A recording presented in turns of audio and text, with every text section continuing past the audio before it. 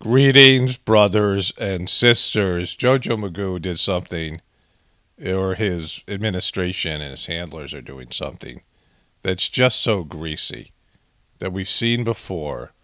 I mean, just absolutely despicable. Scraping the bottom of the barrel with what we just saw displayed here. And I'm going to get into his speech. I hadn't heard his speech, but I saw a couple of parts of it, and I saw the way the media was covering it and covering up for him and backing him.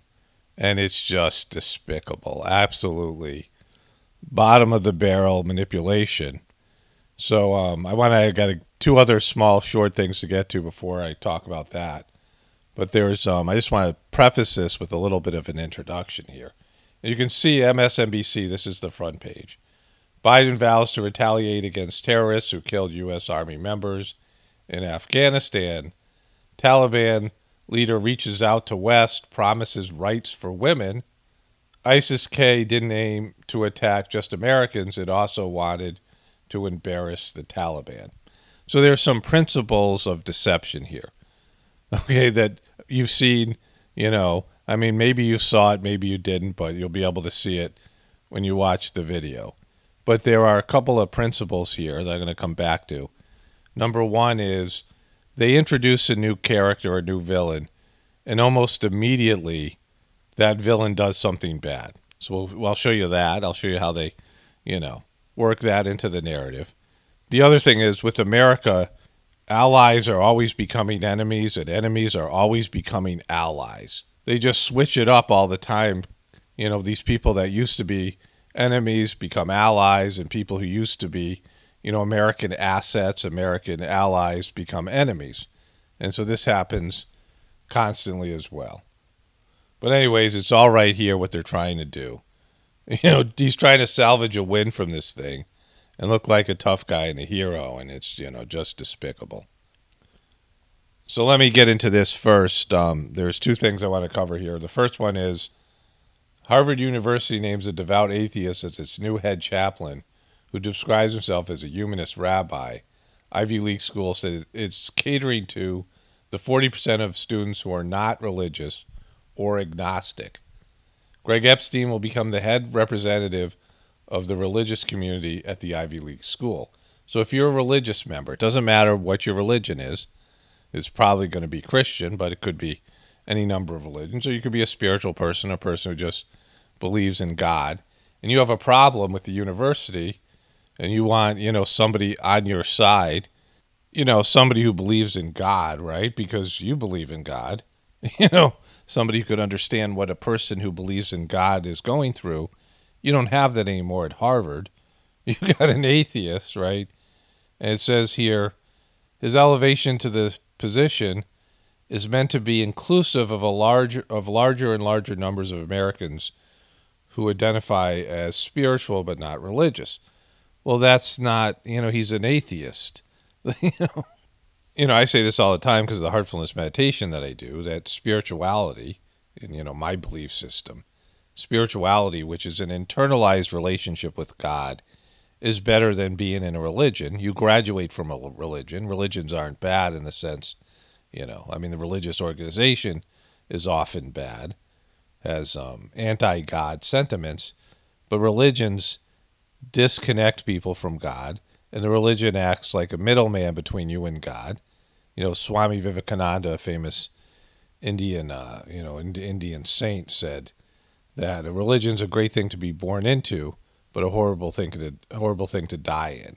At some point, you make the transition. Jesus did. Jesus was born in a religion, but he became a spiritual person and had a direct relationship with God. And so this is, you know, something I believe, and this person doesn't represent me, right? Because he's an atheist. He's not somebody who's spiritual. He's an atheist, you know. and so that's where we are in 2021 at Harvard. This is what they do at Harvard. And so before we get to Jojo Magoo, there was this thing, this last thing from Andrew Cuomo's. I saw a droopy dog, Jake Tapper. This is from like two days ago, and I didn't get a chance to put this in a video, but it's kind of important, and also to the context of the deception and deceivers. Topping our national lead, the state of New York is now clarifying today that nearly 12,000 additional people had been omitted from their state's official COVID death toll. Newly sworn in governor of New York, Kathy Hochul, promising today that, quote, transparency will be the hallmark of my administration. Yeah, I wish there was some sort of independent organization or, you know, organizations out there that would fact check claims. You know, the CDC had had um, the correct number, the number that New York is now adopting in terms of COVID deaths, which is, they'll, they'll tell you how many that is. It's like 13,000, 12,000 more. And the media, who was slathering all over Andrew Cuomo's, accepted his lie, right, for a long period of time, like six months. The revised death toll aligns with the numbers that the CDC has. The CDC had clashed until now with former Governor Cuomo's widely criticized calculations, which seem to undercount the number of COVID deaths in nursing homes. The way the media and social media is, has been working or has been focused, that independent people, like they did this with Trump, who was president, aren't allowed to go against the authority, the authoritative news, the authoritative, um, you know, this, the authority in this case would be the CDC. That Andrew Cuomo, like if Trump was was touting his own facts, right, alternative facts, he would be called on. People like me would be called on, right? You would see it on Facebook and other places. Andrew Cuomo was going against the CDC's statistics with his own statistics and for a long time, he was able to get away with it, and he was treated like a hero. He was covering up COVID deaths from his horrible leadership, right? And now they're dropping this after he, you know, after he um, has exited his position. CNN's Brynn Gingras joins me live. And Brynn, just to remind our, our audience, why did this discrepancy, omitting these nursing home deaths, exist in the first place? Well, Jake, that's a question I think there's a lot of families who lost loved ones are still asking to this day and still wanting answers to. And I'll get to that in just a minute. But first, let me go through those numbers. The Hochul administration is releasing the state's COVID death total, like you said, Jake, consistent with death certificates submitted to the CDC. So that means anyone in New York, anywhere in the state who died of COVID or may have died of COVID are counted in this tally. Hochul said in an interview there are presumed and confirmed deaths. People should know both. Now, up until his very last day in office earlier this week, Cuomo's administration was releasing death totals from the state's internal system, which tracks the deaths of people who were confirmed COVID positive and died in a nursing home, hospital, or adult care facility. So that's how Hochul's administration is getting that extra 20 or 12,000 deaths. Of course, the undercounting, like you pointed out, is a criticism that plagued the Cuomo administration, which has been accused of reporting that conservative number of deaths in the state to keep that number low comparative to the rest of the country. And he was allowed to get away with this for a very long time. And, you know, these were the nursing home deaths. We'll, we'll let them finish up here, but the discrepancy in numbers also, of course, goes back to that March 25th, 2020 directive when Cuomo issued an order telling nursing homes they couldn't deny admission of COVID positive or presumed patients. He revised it weeks later, but the argument, of course, is it contributed to spreading the virus among the state's most vulnerable. And this is a new trigger, this number, as you can imagine, for many New Yorkers, Jake. Even today, as Cuomo is no longer in office and Hochul is promising transparency, in addition to that transparency, I'm told by at least one family they want accountability for what they see as a massive failure by the Cuomo administration, including the state health department, which of course is still under Hochul at this point. So even as Hochul is just a few days in office, this is an issue that she now inherits from the Cuomo administration. So we'll have to see how she answers those families' questions. But of course, it is good to get those updated numbers finally, Jake. Now, there's lots of problems with this, and how this ties into with JoJo Magoo and what I'm going to cover today is liars be lying, right? that this is all about deception and who's allowed to get away with it. I mean, Cuomo's being called on it now, but for a long time he was getting away with it in ways Trump wouldn't. For example, when you're given, you know, the media slants things in a way that's um, they were making Cuomo a hero, giving him an Emmy, all these things, and he was lying about 12,000 deaths. I thought it was 9,000, but now it comes out it's 12,000 deaths of people in nursing homes because he put sick people, people with COVID, in with the most vulnerable people, and that created, uh, you know, a large number of deaths here and probably a lot of other suffering. That lawsuits are going to come from this, and so they waited until he was gone to make this official. And then what's happened now? A big event's happened. You know, we have the Afghanistan thing going on, and you know who's who's going to care about this right now, right? And all these things that are going on in New York, the anniversary coming up, all these other things, and so maybe there'll be lawsuits. But if they had kept Cuomo around, or if they had fired him for this, which this is what he should have been fired for, and the media covered this, this could bankrupt New York. We're talking about 12,000 wrongful death suits because of his incompetence and that's why he's gone. And that's how, you know, they do these things, right? They waited till he was gone, he dropped the information, and then a big event happens and everybody moves on to something else. So with that in mind, let's go to Jojo Magoo. So this is Biden's speech from yesterday. Like I said, I haven't seen it. I've seen parts of it, and I've seen the parts that the media is featuring, and they were the media. I mean, the you know, pro Biden, MSNBC, and um, CNN and Huffington Post that are pimping this guy, pumping him up, right? Who are, you know, acting like his hype man. and so, um, well, let's let's get into it here. This evening in Kabul, as you all know, terrorists attacked that we've been talking about and worried about you mean yesterday you talked about this? I'll show you that in a second. I mean, you just talked about it yesterday. It isn't like we've been talking about it. You've been talking about it, right? That the intelligence community has assessed, uh, has undertaken an attack by a group known as ISIS K. that was a tell. so, um, let's talk about this, this first part. So they've introduced a new character, and he's saying the intelligence community, which is the CIA, which has lied to the American people many times before, especially about war. And then the CIA comes out like so many years later.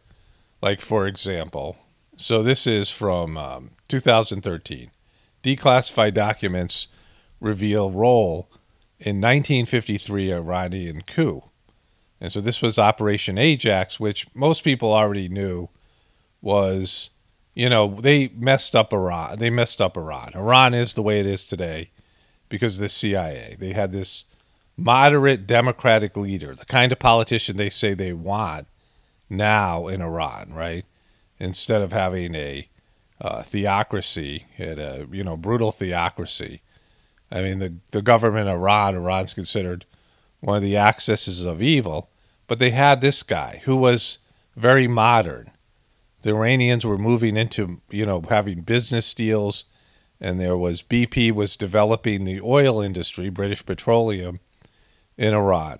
And this guy came in like a capitalist and said, We don't want to give you 80 20 split where British Petroleum were getting 80% of the profits and Iran, the Iranian government, was getting 20%. They said, Let's split it 50 50. And BP started to cry, and they went crying to the CIA for some reason, even though they're a British company. And the CIA said, We'll get rid of this guy. And they did. And so, um, how the CIA overthrew Iran's democracy in four days. And they lied about this, right? For years. And they put in the Shah of Iran, who was a puppet, who turned out to be a brutal dictator. And the Iranians rebelled, and then what happened with the hostage crisis. Very similar to what's going on in Afghanistan now. I know some people in Iran from you know the you know meditation I do, and um, they just they're miserable there. And America screwed it up, right? I know America screwed it up. Like I'm an American, you know. I mean, it's uh, they don't like you know hold anything against me personally, but you know, it makes me feel a little bit. I don't know bad about it, right? And the CIA's been doing this stuff for years, and they lied to us about this for years. And then finally, 60 years after, they admit to this. They admit how they screwed this place up. And so this is what the CIA does. And you can't say, all right, the CIA can be trusted. This was his speech from two days ago. Risks that I've been, I've been uh, briefed on and the need to factor those, those risks in. They're real. And those risks are real. He's telling you, this guy, this truth teller, this believable guy is telling you the risks are real. The intelligence community has briefed him on them. Significant challenges that we also have to take into consideration. The longer we stay, starting with the acute and growing risk of an attack by a terrorist group known as ISIS K. Who? Of an attack by a terrorist group known as ISIS K. Who's that group? you know, so they've just introduced somebody new. We've never heard of them. We've never heard of this, right? Never heard of ISIS K. And all of a sudden, these introduced this new character. This is what I was talking about in the beginning of the video. And literally a day later, they attack Americans. Biden says he's ordered a retaliatory strike against ISIS K. All this stuff here, all these news. This from CNN. What to know about ISIS K, the terror group claiming responsibility for the Kabul airport attack. US President Joe Biden vows to hunt down and punish those responsible for the deadly Kabul attack. The Islamic State affiliate ISIS K claiming that it is behind the suicide blast, which killed more than 13 US servicemen. And so, and then they had all these pundits immediately saying, or, you know, these various experts on the news that it was this group. So they introduced the acute and growing risk of an attack by a terrorist group known as ISIS K. They introduced this, and then literally not even 24 hours later, they attack. And there's a big event. And then he's trying to capitalize on this. Let's just watch the end of this right here. An ISIS affiliate in Afghanistan, which is a sworn enemy of the Taliban as well. Every day we're on the ground is another day we know that ISIS K is seeking to target the airport and attack both U.S. and allied forces and innocent civilians.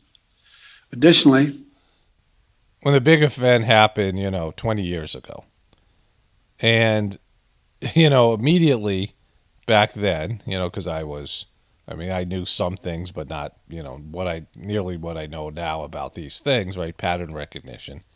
I immediately said, it was, you know, the group, right? the base, the group that we were told for years did everything like that. I'm like, oh, I bet they did it. I bet they did it because these guys trained us. This is what they're doing, right? So when you heard this yesterday, when the Americans heard this guy say this stuff, you know, I mean, let's just watch that again. He's basically giving you a clue to what's going to happen. He's foreshadowing something that's going to happen. Been uh, briefed on and the need to factor those, re- those risks in. They're real and significant challenges that we also have to take into consideration. The longer we stay, starting with the acute and growing risk of an attack by a terrorist group known as ISIS K, an ISIS affiliate in Afghanistan, which is a sworn enemy of the Taliban as well. Every day we're on the ground is another day we know that ISIS K is seeking to target the airport and attack both U.S and Allied forces and innocent civilians. And it happened. And so when it happened, your first thought, if you're trusting this guy and you're trusting the media and you're trusting the CIA, if you're a you know good American and you believe in the American America, you would say, "Hey, I bet that was ISIS K." That's the way that they're framing this. Now, I can't prove I'm not in Afghanistan. I can't go there and figure out what happened, right? I'm not, you know, I don't have access to raw data and information, but I do have pattern recognition and I do recognize bullshit when I see it, when I hear it, right? When somebody, you know, like he actually said this and tells America this is going to happen. Every day we're there, this is a risk that's going to happen. And then it happens the very next day. And, you know, we've seen this before. They introduced a new character and I'll explain it more in just a bit. Let's go through this, see if there's any more here. Additionally, thus far, the Taliban have been taking uh, steps to work with us so we can get our people out. but it's a tenuous situation. And so he's he's defined the future enemy, which is ISIS K, and now he's talking about the Taliban being an ally because they're the sworn enemy of ISIS K, right? So this is the other piece I was talking about, where an, where an enemy becomes a friend, and I'll explain why it has to go this way in terms of the narrative to sell it to the American people. We've been talking about, worried about, that the intelligence community has assessed, uh, has undertaken an attack by a group known as ISIS K. Took the lives of American service members standing guard at the airport and wounded several others seriously. He had also wounded a number of civilians, and civilians were killed as well. And so there's another piece to this. Um, I just want to, you know, I covered this yesterday from my remembering Patrick Pat Tillman video yesterday. There was, um, you know, somebody either left a comment or sent me a message that this thing had just gone down. So I went to MSNBC to see what they were going to say about it, right? And I did a little, you know, um, when I was editing my video, I did a little, I added this in there. And this is what they said, which was very interesting. Others are hurt. The Taliban also went on to claim that Italian military personnel were deployed at the gate where the blast took place and that U.S. officials moved their people inside the airport, quote, a few minutes before the blast happened. Again, that.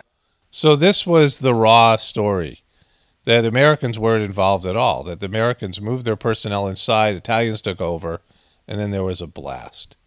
But then it came out, the story changed, and 13 American soldiers had died in the blast, which is interesting because the Taliban said, no, this is what happened. And this was the original story. And now the story has changed, which often happens here. The story changes. People on the ground report one thing, and then more information is given, and it contradicts the original story that was given by people. This is, in this case, the Taliban, who said American troops weren't even there. And so when you tell two different stories, right, that, you know, when your stories don't match up or they change, that's another indication of a lack of, you know, why would we trust you? I mean, this is, you know, there's patterns of behavior here. I've been engaged all day in constant contact with the military commanders here in Washington, the Pentagon, as well as in Afghanistan and uh, Doha. And uh, my commanders here in Washington in the field have been on this with great detail, and you've had a chance to speak to some so far. Now he's um, trying to come across as somber here. He's trying to come across as caring and all these things, but he just has real low energy. Like he has the "get off my lawn," come on, man, you know that part of his his his spiel, his uh, his shtick.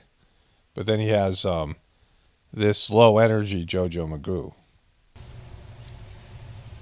The situation on the ground is still evolving, and I'm constantly being updated. These American service members who gave their lives, it's an overused word, but it's totally appropriate here, were heroes. Heroes who've been engaged in a dangerous, selfless mission to save the lives of others. See, he's linking himself to them, right? He's linking their, you know, this tragedy to them, and he's a part of that, right? He's a, you know, he's a commander in chief, and he's on their side. See, a wartime president in America, because we're a war country, we, you know, America is a very militaristic country with a military industrial complex and a long history of violence and war and football and all these things, right? And when you're in battle, you forget about differences. I mean, you've seen this the Democrats and the Republicans come together and rally behind a president when we're under attack. And this is how they've used this in the past 20 years ago. It's how we got into this mess in the first place. Americans blindly following their lying leaders who are deceiving them, Dick Cheney and them, and saying, go on there and, you know, do your thing, do what America do. and so he's trying to, you know, I mean, there's a there's a bunch of patterns here that can be seen. We see it over and over again. You know, America always has an enemy. You guys remember, like when I grew up, it was first the Russians. When I grew up as a little kid, Vietnam was ending. My brother was in Vietnam when I was two years old, and Vietnam was ending. And then it became the it was the Russians, even at Vietnam. The reason that we were in Vietnam in the first place was it was a battle against communism. Communism was the enemy, Russian communism. And so there were these wars against Russia that were fought in other countries that were anti communist wars. Cuba was going communist, and they were right at our, you know, right off Florida's coast. And there's all this stuff about communism. America always has to have, oh, look at this, these, you know, what's bad stuff. Look at this evil people that are trying to take away your stuff, your freedoms. They want to you know, communists are trying to wreck, wreck America. And America is so, you know, superior militarily. Our army is so superior to oppositional forces. Our weapons are so uh, far more advanced than other countries that no country can stand against us. So it went from the Russians when they collapsed when I was in high school, and there was a switch, and then all of a sudden you know when you watched a B movie, uh, you know one of these sort of guy movies, one of these um, spy movies or army movies or whatever it might be, it was always the Russians and communists that were the villains, and then it went from them to Islamic terrorists, and all of a sudden you'd go see an Arnold Schwarzenegger movie, and he was fighting Islamic terrorists, or you know, and Back to the Future was the Libyans that were killing Dr. Brown, whatever. You know, I've covered this in the past. And then at some point it switched to domestic terrorists. These were angry right wing people like Cubies, which has been now for a while, right? They were the enemy. So it was an internal enemy. But America always has that, right? America always has these group of disgruntled people or countries or ideologies. There always has to be an enemy. You know, and there's always a, a derogatory sort of racial uh, nickname that the troops use for the enemy, right? Whatever it is, based in you know the the people they're fighting. I just watched, um, uh, you know, my brother's been talking about Vietnam lately, and I saw Platoon. You know, and I see movies on a totally different level now. Like that's how I can see how much I've changed. The movie Platoon is so bad. It's a horrible movie. It's like a, a poorly made movie. But this is, you know, the ideology that's there of America always having to have an enemy. I'll come back to that maybe in a future video. So I'm in the editing process. It's this video, and I don't think I said this as clearly as I could have, and I just want to restate this. So if you look at American wars and the use of television and movies, that especially you know in recent years, but this has happened over and over again, the intelligence community and the government comes out and says there is a threat out there. There is these, you know, group of bad people that hate America and hate Americans, and they're a threat to you and our way of life. That's been said over and over again by different people. And at the same time, there'll be fictional stories where they'll say, you know, there'll be movies where these people who the government says are a threat to you are the villains in those movies. And you see it, and your subconscious mind and you as a person absorbs this psychologically. And you're like, oh, these are bad people.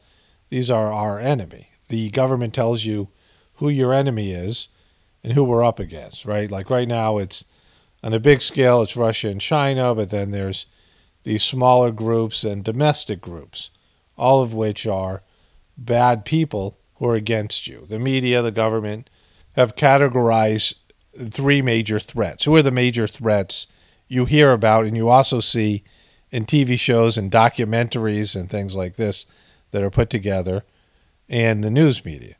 Right now, you have Russia and China. North Korea is there. Iran is always there, right? These are, you know, part of the so called axis of evil under Bush.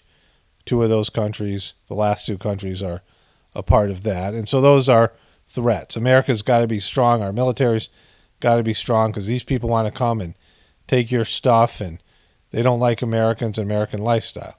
And then you have these so called Islamic terrorists, right? These groups now, ISIS K, used to be the Taliban and these other groups.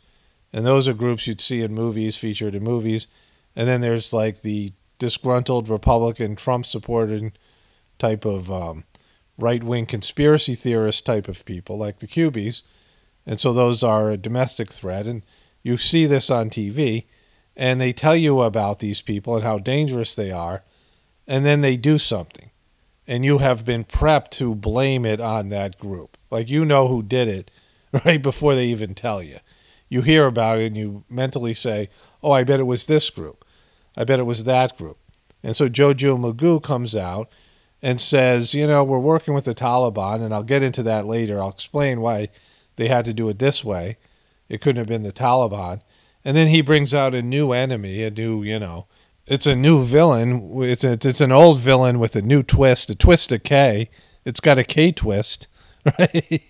they put a little K twist on an old villain, and the next day, that villain attacks Americans and American soldiers, and Joe Biden is now changing the narrative, which I'll show you. I'll demonstrate how they they've changed the narrative, and they're flipping something that was a failure, and trying to turn JoJo into a hero. They're a part of an airlift, an evacuation effort unlike any seen in history, with more than 100,000 American citizens, American partners. Like he almost looks like he's like spaced out and like got drugged up or something here. But this is where he's bragging about how well we're doing in the evacuation, which no one wants to hear about, right? Afghans who helped us and others taken to safety in the last 11 days. Just in the last 12 hours or so, another 7,000 have gotten out. They're a part of the bravest, most capable, the most selfless military on the face of the earth. And they're part of simply what I call the backbone of America. Again, he's trying to, you know, like he's a part of that, and he's obviously not, right?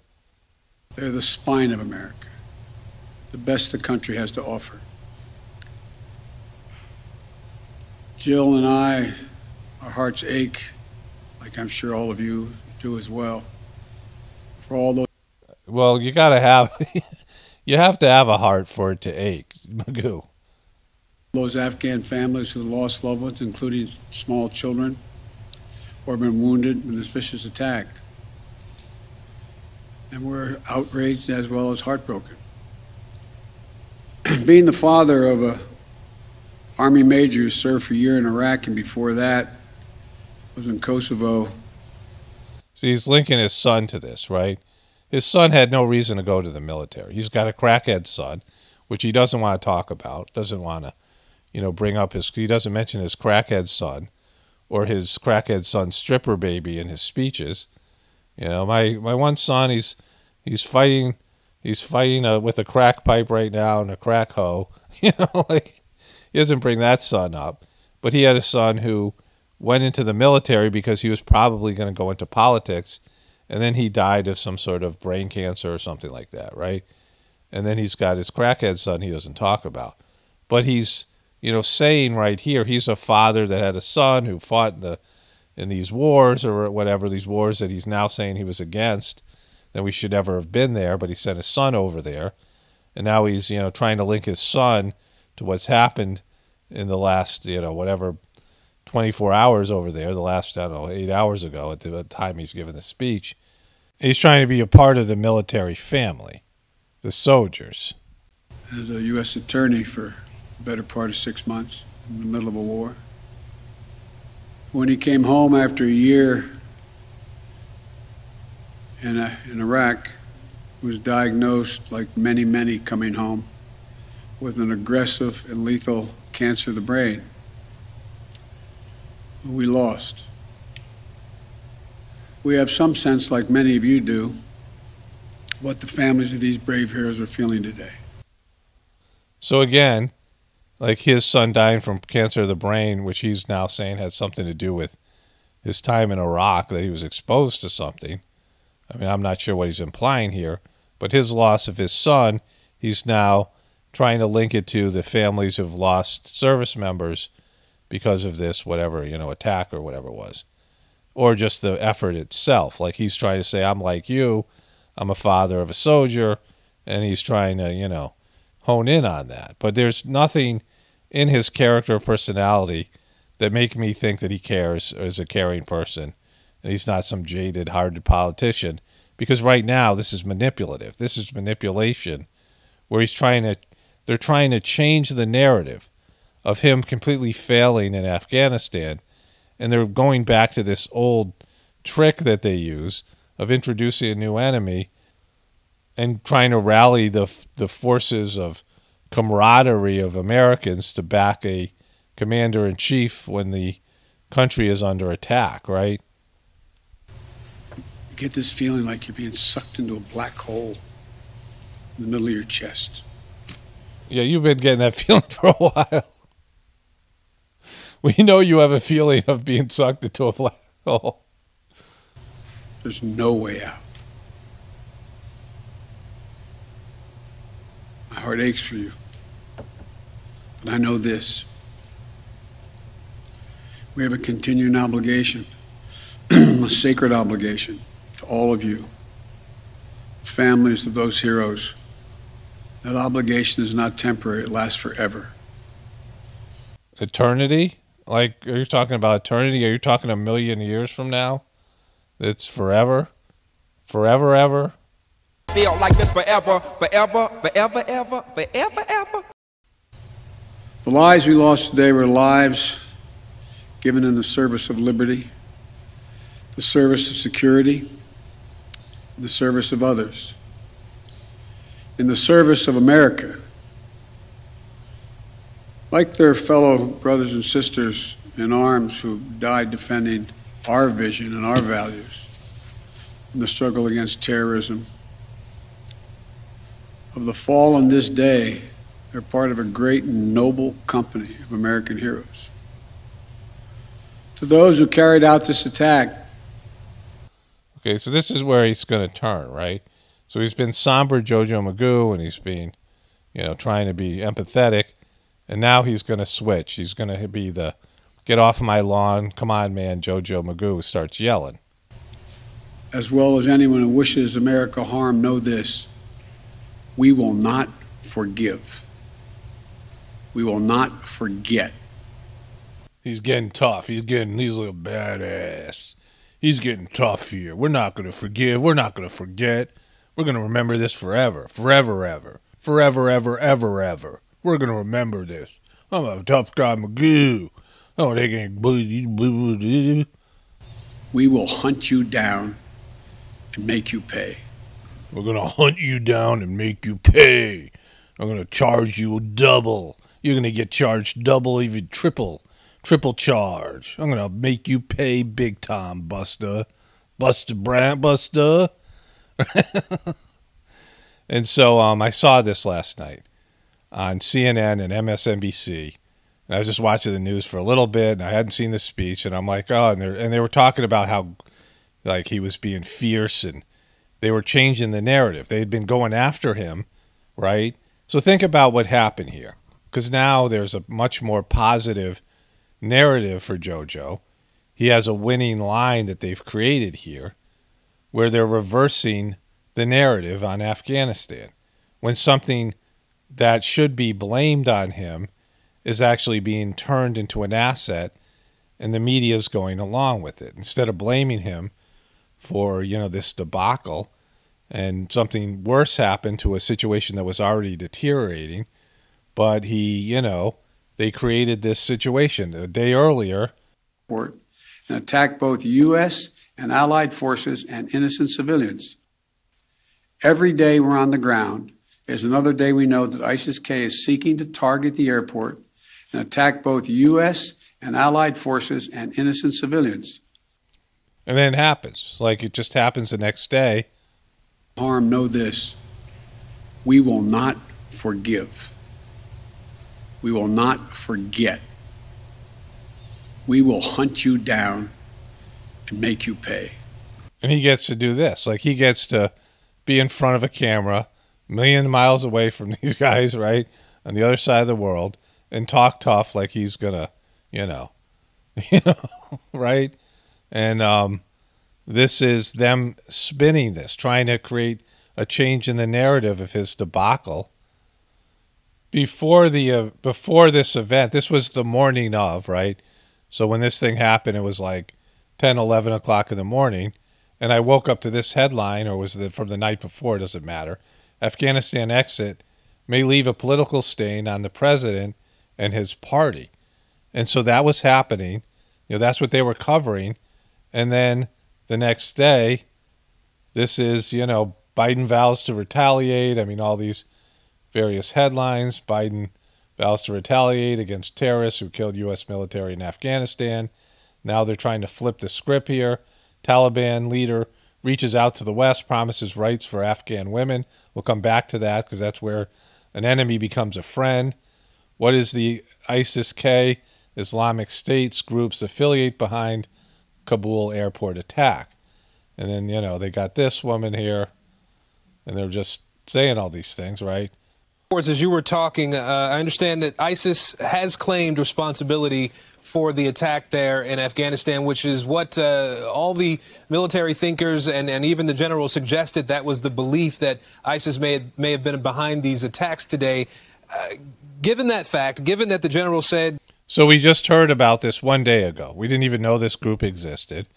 And they claimed something. You know, ISIS was a, I mean, the original ISIS was, you know, likely a CIA asset because the CIA has these assets that they use and this is what Biden wants. He wants to, you know, use intelligence and stealth to go into these countries and deal with these so-called threats without having to launch a whole military invasion. That's his whole new policy. And this is, you know, that fits right into his policy and the reason why he says we need to leave Afghanistan, you know, all wrapped up in the neat little convenient package, right? In his briefing, we will go after those responsible. 24 7, we are looking for them, is what he said. Does this uh, change the trajectory of what's happening on the ground there in Afghanistan in terms of the military operation, in terms of the evacuation? It changes the trajectory, the trajectory of the media and your coverage. That's what it changes. All of a sudden, instead of attacking Biden, you're covering this story. He's giving you some other, you know, vehicle of something that you guys can fill your 24 hour news network with instead of bashing him for his incompetence. That's what it changes. You know, this is wagging the dog, the wagging the dog movie. We saw it, right? This is how the CIA rolls and politicians roll. Like every politician, I mean, the politicians on every issue, they're all about looking good. That's what politicians try to do is be, you know, on the right side of things, the things that the way the Americans are going to view them. They they want a positive narrative. They want to be portrayed as the hero, not the villain, not some doddering, incompetent fool. And so he wants to look like a hero on this Afghanistan thing instead of the complete, you know, miserable piece of crap he's been, right? In the way that this has gone down. So they're trying to change the the narrative here. I will defend our interests and our people with every measure at my command. Over the past few weeks, I know you're many of you are probably tired of hearing me say it. We've been made aware by our intelligence community that the ISIS K, an arch enemy, the Taliban. So this is the arch enemy of the Taliban, right? Taliban leader reaches out to the West, promises rights for women, rights for Afghan women. This is the headline. Taliban leader reaches out to the West, promises rights for Afghan women. And this is what's said here. And not everyone will make it. Last night, I spoke to Zabiullah Mujahid, the Taliban spokesman and a senior official. He arrived with an armed entourage. He's been doing interviews by phone in hiding for years. This is one of his first ever one on one, face to face interviews. The United States is Richard Engel's talking to the Taliban leader, who's now an asset and an ally. So this flies in the face of what we were told about the Taliban for years. We were told in 2001 that the group that had just perpetrated some horrific act against America was in Afghanistan being protected by the so called Taliban. And as long as the Taliban were in power, it would be a refuge for bad actors like this. That's what we were told. That's the official story. This guy was telling it, right? All these guys, they were all about it. He voted for these wars. He talked big. He talked patriotic and things like this. So this is Jojo Magoo. He's reading this essay, this sort of patriotic essay from some um, some uh, professor in Delaware, you know, some state, and then he goes on to say this. This is on the Oprah Winfrey Show in 2001. And we will win this battle again. He is absolutely dead, positively right. They do not have the capacity to take this nation down. They don't have the capacity. And look, what the president is doing here to tell your audience, the president is doing the right thing. If he and President Bush is doing the right thing, so he's backing President Bush, right, in terms of what was going on in the Afghanistan war. And should keep his eye on the ball here. He has put together a coalition that includes everyone from Russia to China to the United Nations to Pakistan to the Middle Eastern Arab nations. Because as I said, they understand this is no longer, uh, they're, they're not able to play geopolitics anymore, meaning as. She's, and she's nodding in, in agreement, so our audience knows, oh, this guy's telling the truth here. That's all right if these crazy Afghanis go off and do this thing because it hurts the guy that's our enemy. They understand it could have been them. It's okay if the crazy Afghanistan does this, Afghanistan guy. No guy in Afghanistan did anything. Afghanistan, this didn't come from Afghanistan. Osama bin Laden was from Saudi Arabia. He wasn't from Afghanistan, right? I mean, think about what he just said here. Some crazy Afghanistan, Afghanis, right? That's all right if these crazy Afghanis go off and do this thing because of crazy Afghanis. There was no Afghanis. This was not an Afghan war. It was supposed to be against the Taliban. Hurts the guy that's our enemy. They understand it could have been them. Exactly. Exactly. Them. So this is George W. Bush, the president that Jojo Magoo was backing in 2001, and he had this to say. Good afternoon. On my orders, the United States military has begun strikes against Al Qaeda terrorist training camps and military installations of the Taliban regime in Afghanistan. These carefully targeted actions are designed to disrupt the use of Afghanistan as a terrorist base of operations and to attack the military capability of the Taliban regime. So they were doing regime change, right? The Taliban regime change. And then Joe Joe Magoo said this this is what he said in 2001. First, our immediate goal is to cut off the head of Al Qaeda, break up the network, leave them no safe haven. That means, to state the obvious, the removal of bin Laden, Mullah Omar, and the Taliban leadership. I don't know how long it will be before the regime is toppled. I don't know how long it'll be before the regime is toppled. Regime change. Get rid of the Taliban.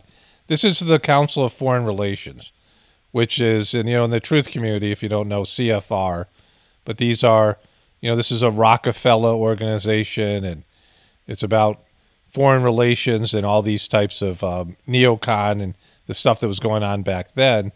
And so he's speaking in front of a you know group of insiders here, and he is saying that right now, and he is backing, they had to get rid of the Taliban regime change in Afghanistan. This is what Joe Biden said. This is what Bush said. This was the policies. He was all behind it, right? He was all for it. After Al Qaeda and the Taliban fall, to use the phrase of the day, when we drain the swamp, as the president says. Drain the swamp. the medium term goal is to roll up all Al Qaeda cells around the world. And so the regime change was the policy, right? This is in 2001 get rid of the Taliban. And so in 2021, 20 years later, I will defend our interests and our people with every measure at my command. Over the past few weeks, I know you're many of you are probably tired of hearing me say it. We've been made aware by our intelligence community that the ISIS K an arch enemy, the Taliban. The arch enemy of the Taliban. I got off at I got off track here because, you know, the Taliban was the enemy. Remember, back in this, you know, when we went into the war in the first place, we were told the Taliban were housing these groups, these bad actors, and the only way for America to be safe was to remove the Taliban from power completely. They were going to be gone, crushed, and then even though he says he's not for it now, I'll show you this later, that he's not for regime change and nation building. Back then he was when he was talking to the CFR. And so this is where, you know, an enemy has now become an ally. But anyways, we heard what he said about Afghanistan way back when. He was for the war, voted for the war. He was backing President Bush back then, and with the same kind of rhetoric. This guy, Jojo Magoo, now, right, and much, um, I mean, he's not as sharp as he was back then. Not that he wasn't, uh, you know, he didn't have his issues back then, but he's clearly um, having mental issues now, deterioration. He has just handed this Taliban regime that him and Bush were talking about how it needed to be toppled $88 billion in training and weapons, 166 $20 million Black Hawk helicopters, and things like this, right? He's just handed them the state of the art American weaponry and training. I um meant to say this. I'm in the editing process again. I'm adding something here. Um, I meant to say this. I was talking to my brother for a while, and he had this conversation with a general. I talked about this before in another part of the conversation, but the general also said to him that the first Gulf War, the one with um, Schwarzkopf, right, the the old the elder Bush uh, Desert Storm War, could have been prevented. Saddam Hussein invading Kuwait, which was a neighboring ally of the United States, could have been a- avoided if the U.S. had just armed the Kuwaitis with six Black Hawk helicopters. I mean, it would you know probably have Americans flying them, but if America had flew in, you know, some helicopter pilots and people to um, fire the you know weapons, the power of these things would have turned back Saddam Hussein. Like he, he wouldn't have been able to invade Kuwait. And so, you know, I'd want to emphasize that here. What a disaster this is. The Taliban now have 166 of these, right? I mean, they're so much better off than they were in terms of their, you know, equipment and things. And so he's really screwed, right? Because that wasn't the original goal and that means a complete failure of the, you know, American mission. But they needed some sort of conflict. They needed an event that would galvanize support behind Joe Joe Biden, Jojo Magoo, because, you know, they were attacking him and he was losing credibility and all these things. So they needed something that would bond them together. And it wasn't going to be the Taliban attacking because that would mean we were leaving the country and being attacked on the way out. As we're leaving with our tail between our legs, the Taliban is kicking our ass on the way out the door, right? And that's a bad look for America and a horrible look for him. So it can't be the Taliban. The Taliban has to be redefined as the as a cooperator, an ally. The Taliban are helping us. We're cooperating with the Taliban. They're they're wanting to treat their women better. It's a you know it's a it's a new Taliban, right? You know they've reinvented the Taliban as an ally instead of an enemy because they can't be an enemy because we just you know handed the country over to them and gave them billions of dollars in weapons. So we you know they can't be. we can't be like, hey, the Taliban's attacking us on the way out. No, they're they're our friends now. Like they've redefined the narrative. They're changing the story. And so who are they going to get? They need to get somebody that would, you know, act as a as an attacker to make him a wartime president. You're probably tired of hearing me say it. We've been made aware by our intelligence community that the ISIS K, an arch enemy, the Taliban.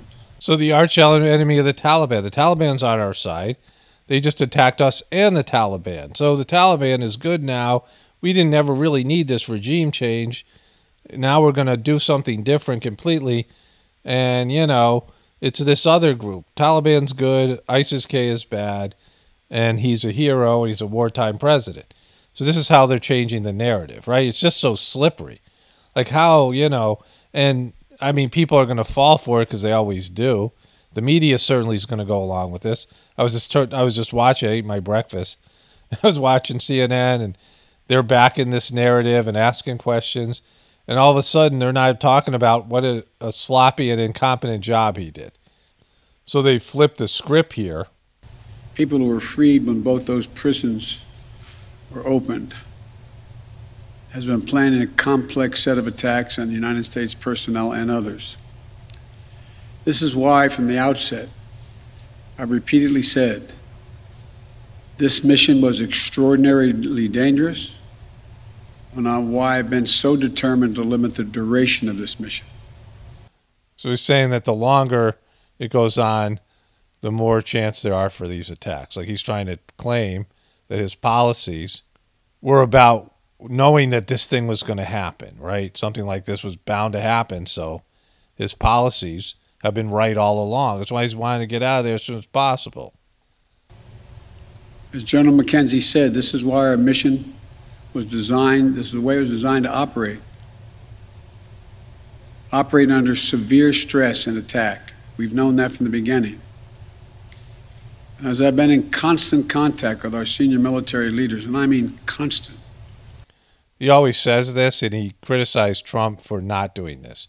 Like I'm always, they're always telling me what's going on, and I'm always there, and I'm always a part of it. Well, you know, like he's right. We know his mental faculties aren't there. Round the clock, and our commanders on the ground throughout the day. They made it clear that we can and we must complete this mission, and we will. Afghanistan. Every day when I talk to our commanders, I ask them what they need. What more do they need, if anything, to get the job done? As they will tell you, I granted every request. he's he's a he's like the Wizard of Oz. I re- reiterated them today. Did you give the scarecrow a heart, or your, or or, or yourself one? like, hey, on three occasions that they should take the maximum steps necessary to protect our forces on the ground in Kabul. And I also want to thank the Secretary of Defense and the military leadership of the Pentagon and all the commanders in the field.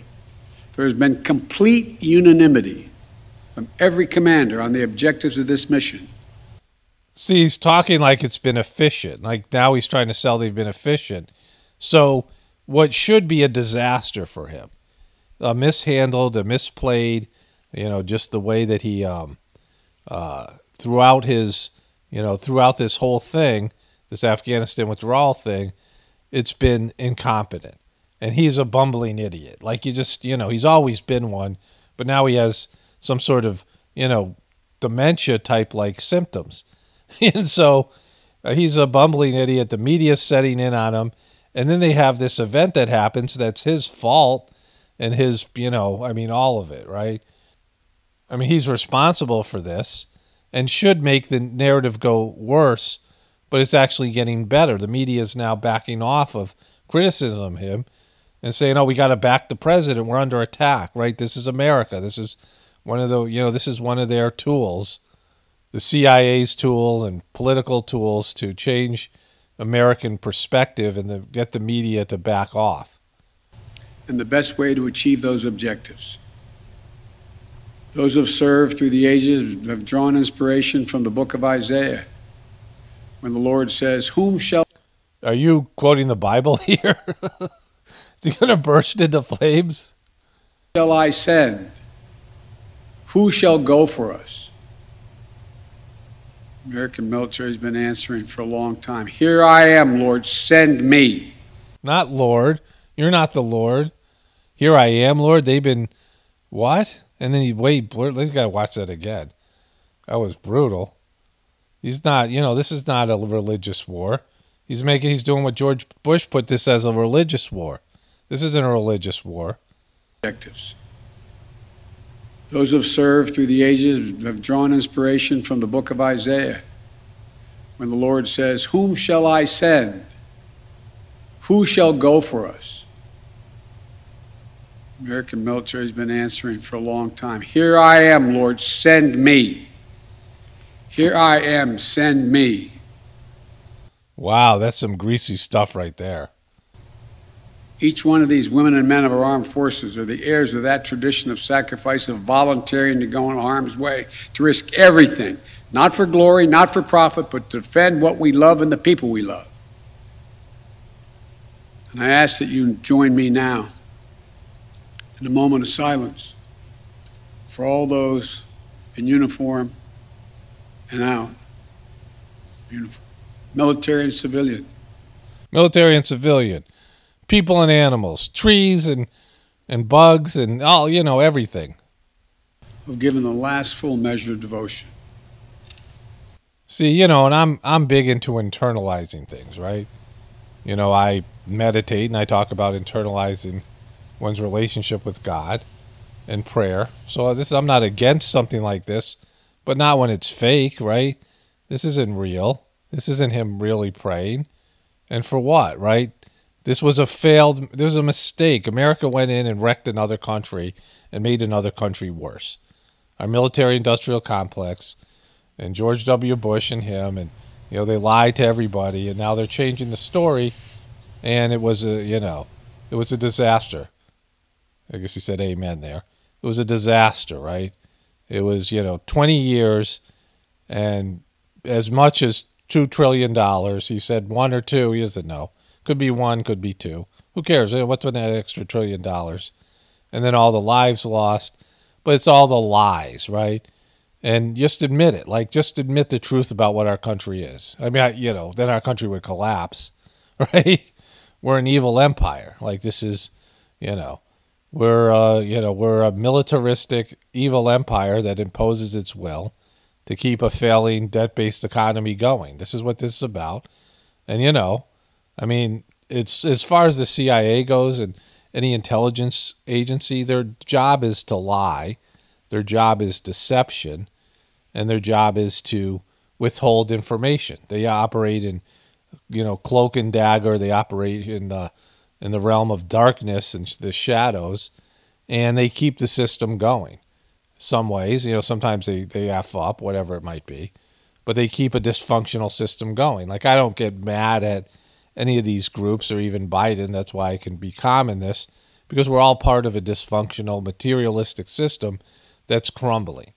And we can watch it crumble and, you know, get laughs out of it. I mean, that's what I offer here but it's something where we have to change our orientation to the world and connect to God because we have an ego driven system and this is how ego driven systems end. You know the ego is a potential demon or a potential devil.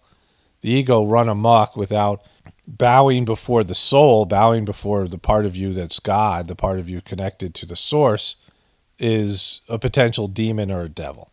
Your ego has to bow before your soul. Your ego has to surrender to your soul's path and embrace, you know, difficult things and things that the ego doesn't necessarily want to go through.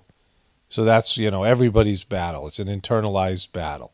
And our system is removing the soul, right? You have, from my earlier coverage, Harvard that is saying the guy in charge of religion in Harvard's an atheist. That's, you know, that's the direction we're going. The religion of science and the religion of of basically Satanism, the worship of the ego. Thank you. You're welcome. May God bless you all, and may God protect the troops and all those standing watch for America. We have so much to do. It's within our capacity to do it. You know, it would God bless the troops if you didn't say that. if you didn't pray for it, like, you know, what do you think would happen, right? What you do when you pray and when you do it, you meditate, then two different things. But you're bringing whatever's going on in the material world in front of God and the part of you that's God, your soul, and you are, you know, activating. It's like the body sends out, you know, if you're in pain, the body sends signals to the brain. It says, all right, go do these things, right? And the heart, and it, you know, ministers, uh, a response from your immune system or whatever it might be, right? If there's something wrong, you need to get a signal back to the source. And so that's what you do. You offer it up to God and say, just in case you didn't know about this, or, you know, maybe you're not aware of this, God, or, you know, maybe you're not, you know, I just want to bring this to your attention, right? And that's all you can do. And then let God decide what needs to happen. There's perfection in the system. We just have to remain steadfast. Steadfast. We will complete our mission and we will continue after our troops are withdrawn to find means by which we can find any American who wishes to get out of Afghanistan. So once the troops are gone, they're going to have to find ways to get, you know, with the help of the Taliban, who's now the ally, to get Americans out. And so this is what he's trying to. He just proposed that BS, right? That wouldn't have flew. He wouldn't have said this two days ago, right? When he gave this speech about the withdrawal, that we were going to leave Americans behind, and the troops were going to come home, and the Americans were going to have to find their way home through some other means. He's just said it, right? Now this event has allowed him to do this, and the media is going to accept it because I watched them, and they already have.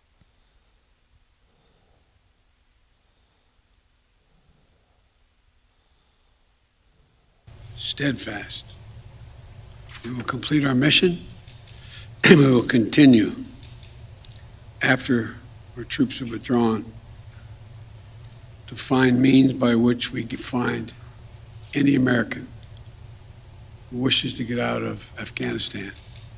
He's leaving Americans there. They weren't, you know, all the Democrats and Republicans and the media were saying, don't take the troops out and then leave Americans behind. He's saying they're going to do that and trust the Taliban to fight off um, ISIS K and get the Americans home somehow. This is what he just said, right? There's no way he could have said that 48 hours ago in his other speech where he introduced ISIS K, that we were going to take the troops out and leave Americans behind. He just, you know, I mean, this is what this is all about and try to make him look like a hero in the process. Look at this greasy, slimy, MNF, or it's not him, it's his handlers, it's the intelligence community. I mean, it's all of it.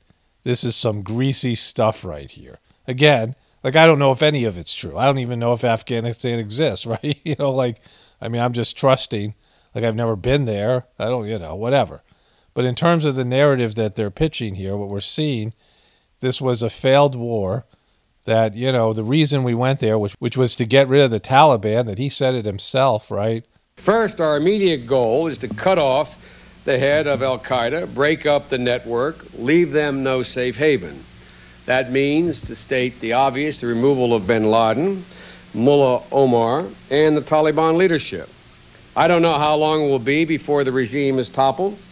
So back then, and again, he this isn't his policy. He's reading what he's told to read. This has been the military-industrial complex's policy. They're going to go to Afghanistan and they were going to get rid of the Taliban, which didn't happen, was never the goal. They were going to allow, they were going to open up the opium industry, the poppy fields, because the, the Taliban were stopping that. There was going to be an opioid crisis that came from Afghanistan, Afghanistan opium. I've showed you that in other videos. That spiked, its production spiked at a worldwide high in terms of production in 2008, 9, and 10, and that's when the opioid crisis began in 2010 in America. It's interesting that that happened. Uh, a country occupied by America. You know, my brother guarded the poppy fields in Vietnam, and he told me about that. And we saw American troops doing the same. So that happened. And then, you know, after 20 years, we're leaving and handing over all of these weapons to the Taliban, right? And so this happened. This is a failure. It's a failed war. We are lied to. And, you know, I mean, there's no accountability here. And he was going to take responsibility for the debacle of the exit, which was going to be rough. And so many people knew about it. And now he's trying to turn himself into a hero as a doddering old fool. And the media is going with this right now. We will find them and we will get them out. Ladies we'll find them after. We'll find them after the troops have left. I mean, that's what he just said. we're going to leave Americans behind and we'll find them and get them out, right? After this event that just happened that showed that they're not safe and Americans are being targeted by a group that somehow the Taliban can't control and who are sworn enemies of the Taliban in America. He just said, leaving Americans there. And this is, nobody's covering this, what he just said. This is an epic statement on his part. Like a complete, like, shit show, right? Shit storm. And they're just leaving that on the table. They gave me a list here. The first person I was instructed to call on was Kelly O'Donnell of NBC. You have said leaving Afghanistan is in the national interest of the United States. After today's attack, do you believe you will authorize additional forces to respond to that attack inside Afghanistan? And are you, are you prepared to add additional forces to protect those Americans who remain on the ground carrying out the evacuation operation? I've instructed the military, whatever they need, if they need additional force, I will grant it.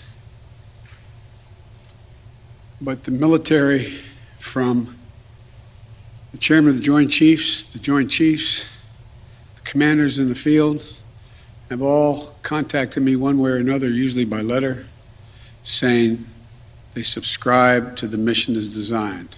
By letter? we have this thing now called the internet. To get as many people out as we can within the time frame that is allotted. That is the best way they believe to get as many Americans out as possible and others. No, it isn't. And with It regard to finding, It would be staying. It would be staying until every having the military stay there. Your the military's leaving Americans in a hostile country, and so just think about. I mean, it's just epic what he's saying here. Like, in just it's it's being passed over. tracking down the ISIS leaders who ordered this. With what? There's no military there in Afghanistan. You're going to drone them? Like the Taliban are there on the ground and they're sworn enemies and they can't find them. And you're saying that you- you're going to find them with no military presence over there. We have some reason to believe we know who they are. Not certain. They're not certain. Like, they don't even know, but you're going to get them. And we will find ways of our choosing without large military operations to get them. Wherever they are. Um, They're in Afghanistan. Like that, a country you're leaving right now. Trevor, Reuters. Thank you, Mr. President. Um, there's been some criticism, uh, even from people in your party, about the dependence on the Taliban to secure the perimeter of the airport. Do you, do you feel like there was uh, a mistake uh, made in that regard? No, I, I, I don't. Look, um, I think General McKenzie handled this question very well. The fact is that we're in a situation, we inherited a situation, particularly since, as we all know, that the Afghan military collapsed 11 days before, in 11 days. Which everyone knew was going to happen. it is in the interest of, as McKenzie said, in the interest of the Taliban that, in fact, ISIS K Boom. Again with the eye there. Does not metastasize beyond what it is, number one. And number two, it's in their interest that we are able to leave on time, on target. And as a consequence of that, the major things we've asked them, moving back the perimeter, giving more space between the wall, stopping vehicles from coming through, etc., searching people coming through. It is not what you'd call a tightly commanded, regimented operation like the U.S. is. the military is, but they're acting in their interest. They're getting it done. These guys are they're they're our allies now. They're our friends. Mr. Taliban. He's Tali and JoJo's banana. Their interest. And so by and large, and I've asked the same question to military on the ground, whether or not it's a useful exercise. No one trusts them. We're just counting on their self interest to continue to generate their activities. what? Are they playing Twister? Like, what do you mean activities? Are they playing capture the flag? like, what's. It's in their self interest that we leave when we said, and that we get as many people out as we can. Not all of like them. I not all of them. said, even in the midst of everything happened today, over 7,000 people we've gotten out, over 5,000 Americans over. So uh, it's not a matter of trust, it's a matter of mutual self interest.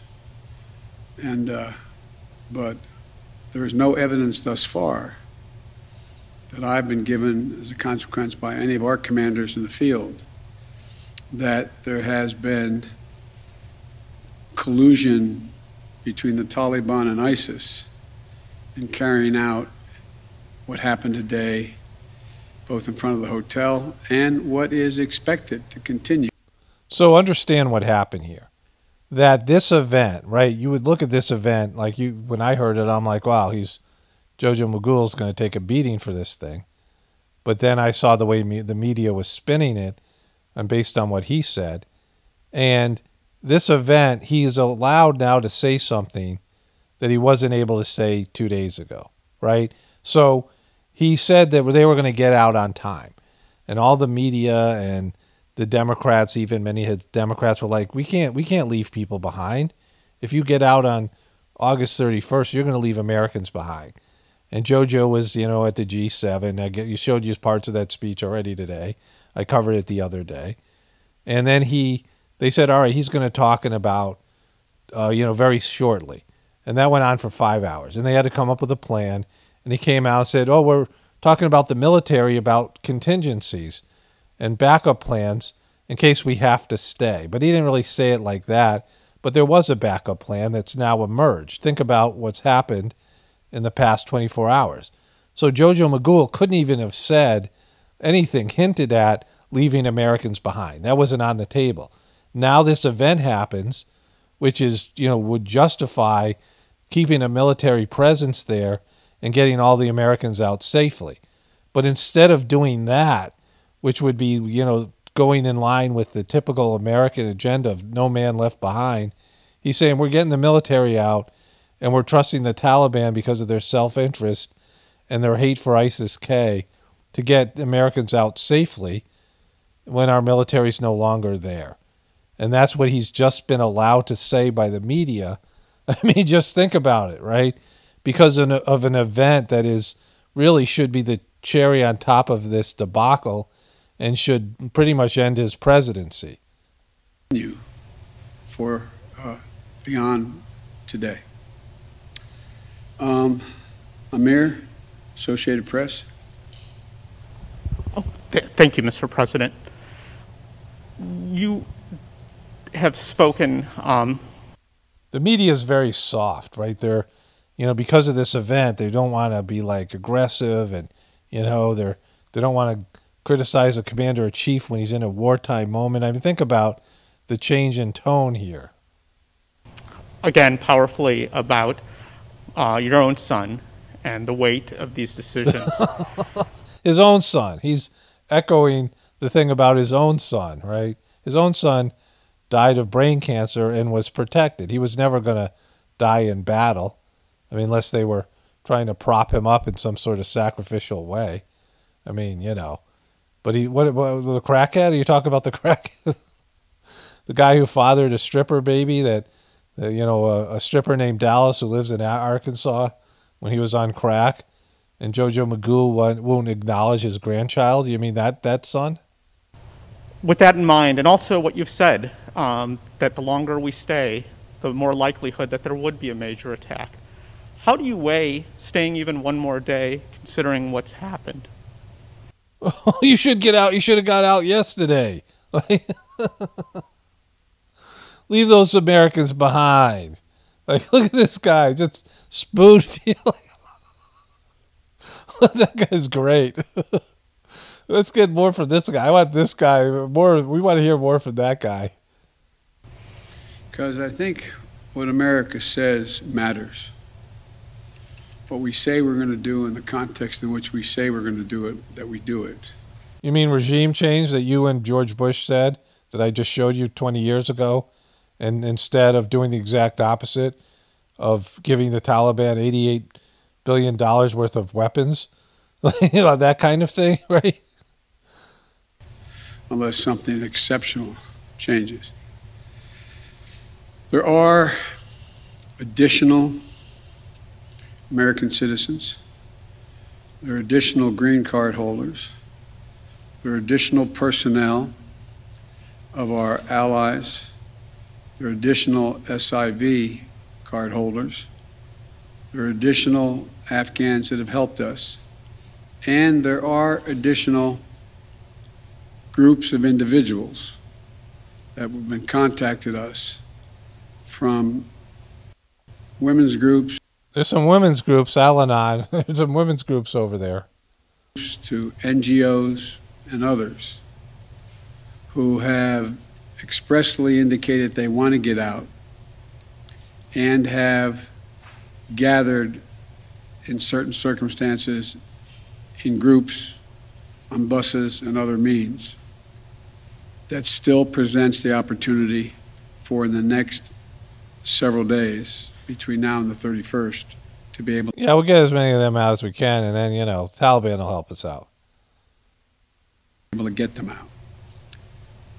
And our military, and I believe, to the extent that we can do that knowing the threat, knowing that we may very well have another attack, the military has concluded that's what we should do.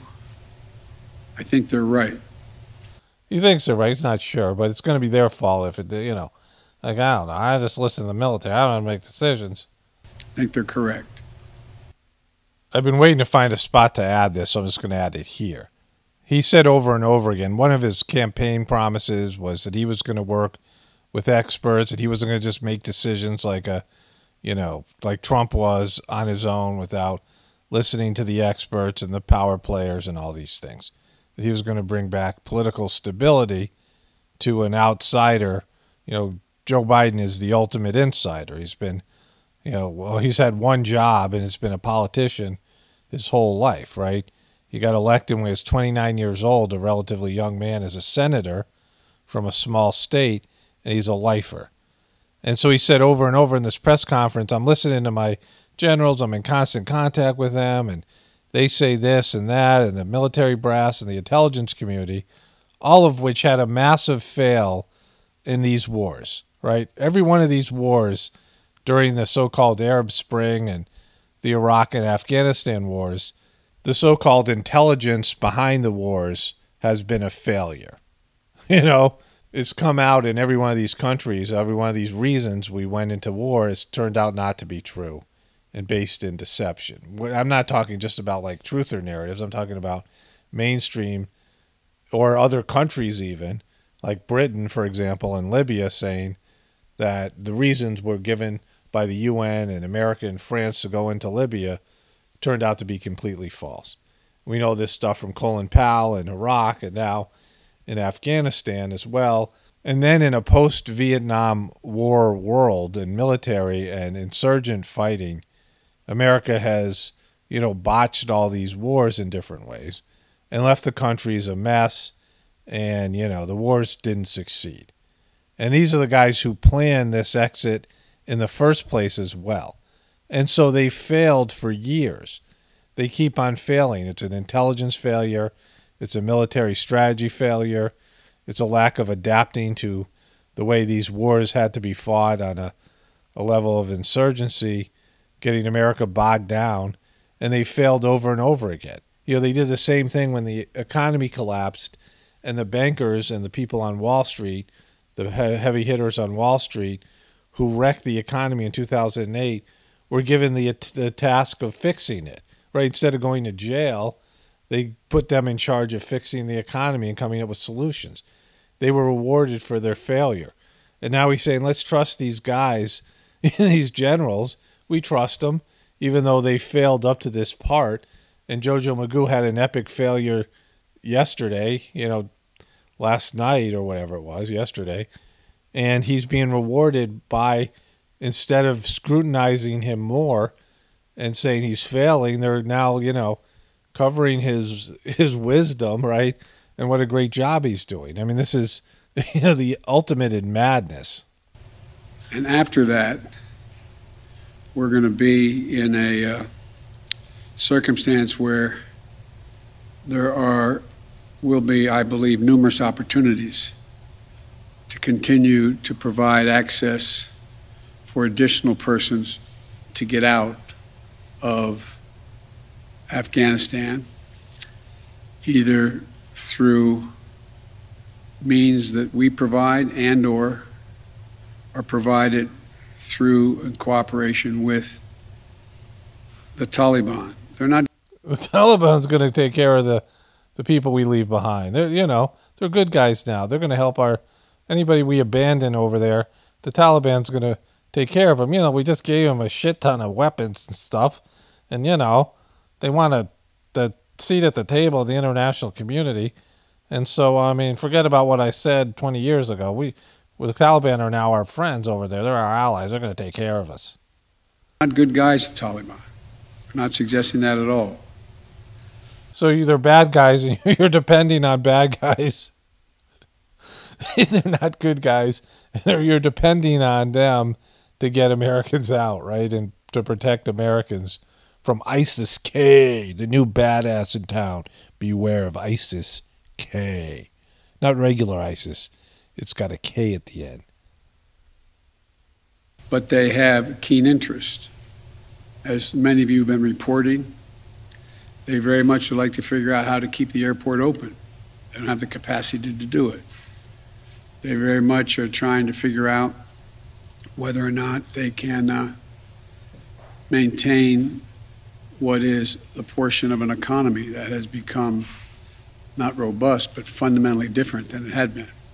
You know, because when you sell opium, you know, to, to his son, his crackhead son, when you have a, an, you know, a robust product like opium, poppy fields, you know, we're, we're trying to persuade them. We don't want to get rid of those things because, you know, you need an open airport to get that opium out of, out of Kabul and so there's a lot of reasons why they have reached out, not just to us, but to others, as to why it would be continued in their interest to get more of the personnel we want to get out. We can locate them. Now, there's not many left that we can assess that are, want to come out.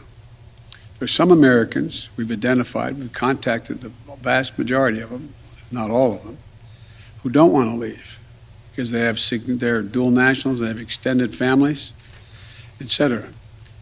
And there's others who uh, are looking for the time. So that's why we continue. Looking for the time? continue. I'll take a few more questions, and uh, but you, sir.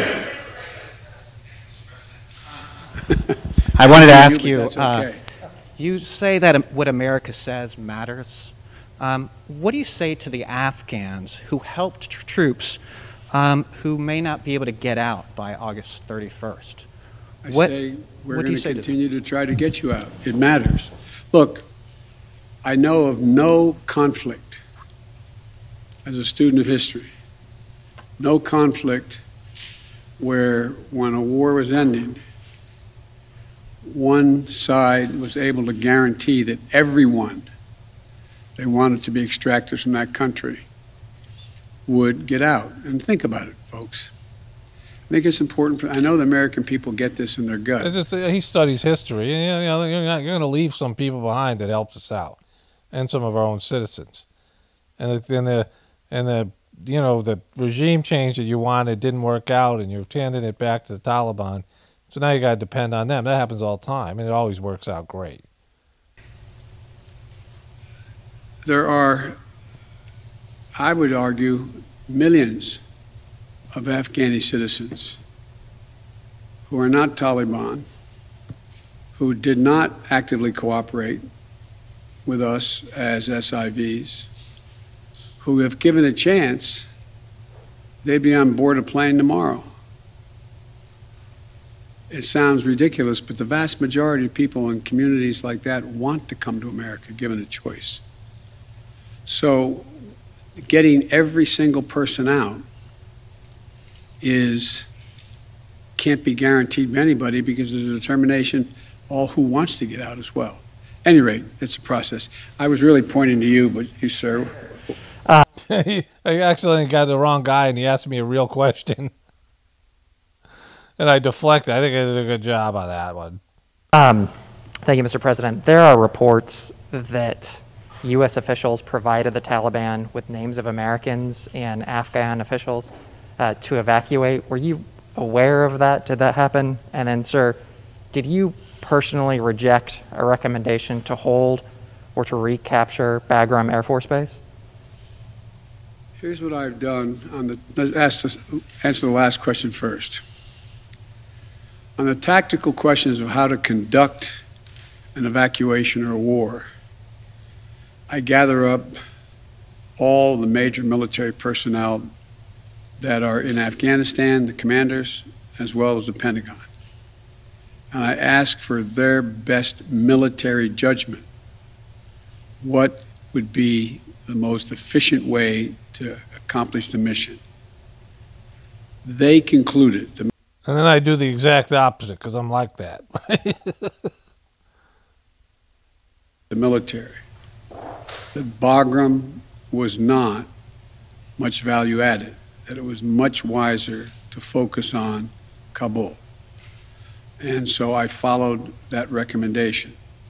With regard to, there are certain circumstances where we've gotten information, and quite frankly, sometimes from some of you, saying you know of such and such a group of people or trying to get out, they're on a bus. You're relying on these guys to tell you who to find people in Afghanistan. These shills, these media dopes. Sometimes you guys tell us where the where the folks are that we have to get out of the country. I appreciate it. They're moving from other people. And this is their location. And there have been occasions when our military has contacted their military counterparts in the Taliban and said, This, for example, this bus is coming through with X number of people on it, made up of the following group of people. We want you to let that bus or that group through. So, yes, there have been occasions like that. And to the best of my knowledge, what he asked was Has America given locations of Americans and or Afghanis who've cooperated with America to the Taliban who are going, who are likely to want to hurt them? Do they know where they? Did you actually, you know, give the enemy locations of vulnerable Americans and Af- in worse Afghanistan people, Afghani citizens, who work with the Americans who the Taliban are going to target? And you're not answering that question. You kind of are. You're saying, hey, there's a bus we want to get through, but do they know where they live? Are they know where these people are staying? Those cases, the bulk of that has occurred, they've been let through. But I can't tell you with any certitude that there's actually been a list of names. I know there may have been, but I know of no circumstance. It doesn't mean it's not it didn't exist. That here's the names of 12 people, they're coming, let them through. It could very well have happened. I'll take one. More. They might have been given names. I don't know. It's important they know the name. I mean, you know, it doesn't matter. They just give a fake name. I don't know. What do I know? One more question. Wait, wait, wait, wait. Let me take the one question from the most interesting guy that I know in the press. That's you. Mr. President, there had not been a U.S. service member killed in combat in Afghanistan since February of 2020. You set a deadline, you pulled troops out, you sent troops back in, and now 12 Marines are dead. You said the buck stops with you.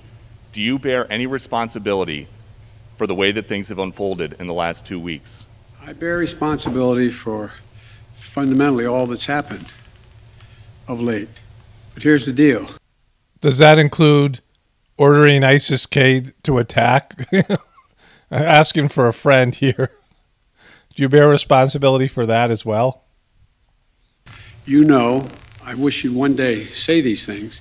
You know as well as I do that the former president made a deal with the Taliban.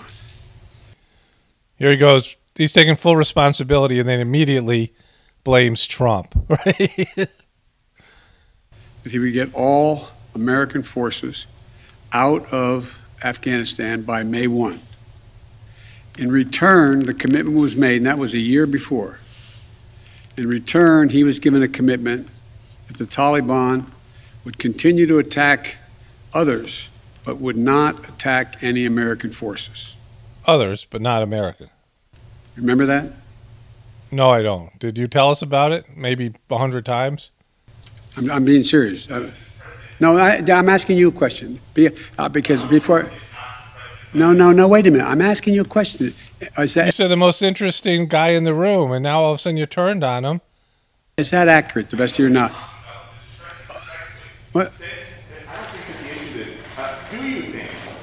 Are you praying again, bro? What's happening? You praying? There's Kaitlan Collins. People have an issue with pulling out of Afghanistan or just the way that things have happened? I think they have an issue that people are likely to get hurt. Some, as we've seen, have gotten killed, and that it is messy. It's messy, but he's he's he's, he's responsible for it all. The reason why, whether my friend will acknowledge it or has reported it, the reason why there were no attacks on Americans, as you said, from the date until I came into office, was because the commitment was made by President Trump I will be out by May 1st. In the meantime, you agree not to attack any Americans. That was the deal. That's why no American was attacked. A few days ago, you said you squarely stand by your decision to pull out. Yes, I do, because look at it this way, folks. Too bad you didn't do that with Hunter, right? you could have saved the world some pain. And I'm gonna. I have another meeting for real. For real, it's not imaginary. It isn't like he's going to go back in there and play tiddlywinks. He's got a real official, official big meeting that's official. It's official meeting. But imagine where we'd be if I had indicated on May the 1st I was not going to renegotiate a, a evacuation date. We were going to stay there. I'd have only one alternative pour thousands of more troops back into Afghanistan to fight a war that we had already won. You didn't win it. this doesn't look like what winning looks like. Relative to why the reason we went in the first place. I have never been of the view that we should be sacrificing American lives to try to establish a democratic government in Afghanistan. That's not what you said, though. After Al Qaeda and the Taliban fall, to use the phrase of the day, when we drain the swamp, as the president says, the medium term goal is to roll up all Al Qaeda cells around the world. Then, with the help of other nations and possibly the ultimate sanction of the United Nations, our hope is that we'll see a relatively stable government in Afghanistan. That's nation building, bro. You were going to get rid of the Taliban and you were going to build a nation. That's what you said. This is the CFR. That's their, you know, this is, he's actually telling them that their plan that Bush is using, because this is coming from Rockefeller, this is coming from the Rockefeller Foundation here. This is, you know, big money, you know, controlling interests here that are telling, these are their plans that the Pentagon and the Bush administration is rolling out. And he's saying, yeah, we're adopting your plan. In the world. Then, with the help of other nations and possibly the ultimate sanction of the United Nations, our hope is that we'll see a relatively stable government in Afghanistan, one that does not harbor terrorists, is acceptable to the major players in the region, represents the ethnic makeup of the country, and provides the foundation for future reconstruction of that country. So that's regime change and nation building. That's what you're reading here. You're saying you're endorsing this, and now you're saying the exact opposite. So you were wrong 20 years ago. I'm going to come back to this. Country that has never once in its entire history been a united country and is made up, I don't mean this in a derogatory, made up of different tribes who have never, ever, ever gotten along with one another. And so, as I said before, and this is the last comment I'll make, we'll have more chance to talk about this, unfortunately, beyond because we're not out yet. As well as Al Qaeda had chosen to launch an attack when they left Saudi Arabia out of Yemen, would we have ever gone to Afghanistan? Even though the Taliban completely controlled Afghanistan at the Yeah, but ISIS is in there now. You have ISIS K that just attacked Americans and American soldiers. So why are you leaving if there's terrorists there, right? Why are you leaving now? Because ISIS K is there, right? It's just it's this, it's a complete failure. the time. Would we have ever gone? I know it's not fair to ask you questions, it's rhetorical, but raise your hand if you think we should have gone and given up thousands. Nobody raising their hand. Raise your hand. The teacher's talking. thousands of lives and tens of thousands of wounded. Our interest in going was to prevent Al Qaeda from reemerging, first to get bin Laden, wipe out Al Qaeda in Afghanistan, prevent that from happening again. As I've said a hundred times, You just said though it was about nation building. Get rid of the Taliban, have regime change, and establish a democratic government in Afghanistan. That was your plan. You read in front of the CFR. You talked about it in multiple places. I played the clips. That's what you voted for. That's what you and Obama were doing for eight years, nation building in uh, in Afghanistan. Even though you promised to get out in 2014, and none of these things stand up to any sort of scrutiny if we had a real journalistic media that practiced journalism and asked real questions none of this would be able to stand right your lies and your deception and your changing of the story wouldn't be able to stand you know up to just a little bit of scrutiny and a little bit of fact checking terrorism is metastasized around the world. We have greater threats coming out of other countries, a heck of a lot closer to the United States. We don't have military encampments there. We don't keep people there. We have over the horizon capability to keep them from going after us. Ladies and gentlemen, it was time to end a 20 year war. Thank you so much. Boom. And he goes running away like JoJo do. Okay, so just briefly, you know, the difference between me and probably most people who do this sort of thing, whether you're a truther or not, people who comment on these things, is that I see this as a systemic problem.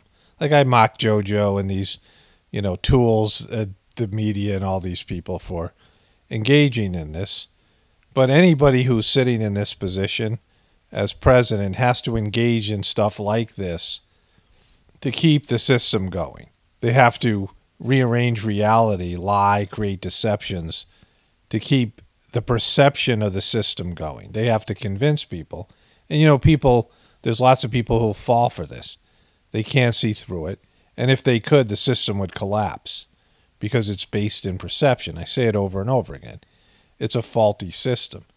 And so, yeah, the politicians themselves as individuals are crappy people. And this is really greasy. This is one of the greasiest things I've seen in a long time. Like this is they're just trying to salvage some credibility and some something positive and spin the tide of the media that was descending on JoJo for this disaster. So this was pretty, you know, I mean, this was one of the lower things that I've covered on the political field. But the system is like that. Like they'll do anything, you know, to keep in power and to, I mean, they, they there's nothing they won't do. Like you can't say, well, I don't think anybody could be that evil. Yeah, they can, right? like I've seen it over and over again.